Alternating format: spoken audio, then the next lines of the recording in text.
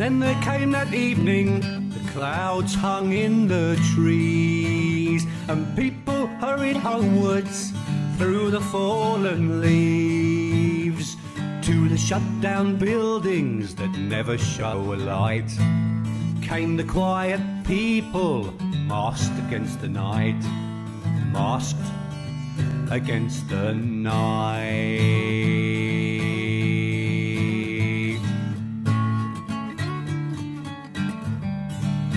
Local people have found themselves priced out of the property market by people buying second homes, inflating the market. An MP in Bristol, a doctor in Eastleigh, a lawyer in Stoke Newington, a don in Shrewsbury.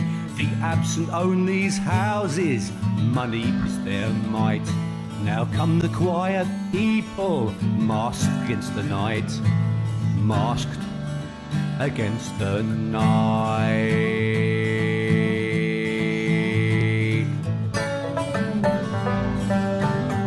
People are inherently suspicious because they see again and again four, five bedroom houses being built, but what we need are three bedroom family homes. As the way the market works, we can't afford to buy them. I have two sons still living at home, although they work, they cannot afford to move out. They can't afford private rents and they certainly will never be able to afford to buy a house. We need a commitment to a publicly owned housing stock in which our children and our elderly people too can live.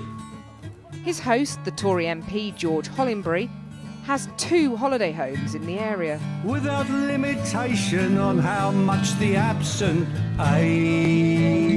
Without accommodation, young people move away. There's mystery and silence, there is a wrong and right. Here come the quiet people, masked against the night.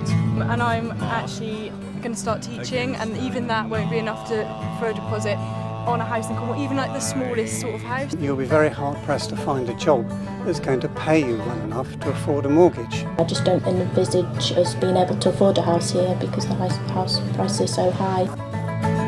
There's mystery in silence, there is a wrong and right. Here come the quiet people, masked against the night, masked against the night, masked against the night, masked against the But as your children are growing up, your entitlement to benefit will decrease and you won't need the extra room anymore. So they will move you on and they will rent to someone else for more. You don't have any choice and you will have nowhere for your children to go home to.